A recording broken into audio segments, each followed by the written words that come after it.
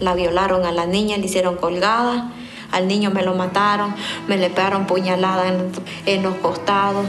Que mi pobre Oliver me lo, me lo masacraron. Se han dado ejecuciones extrajudiciales que involucran al ejército y a la policía.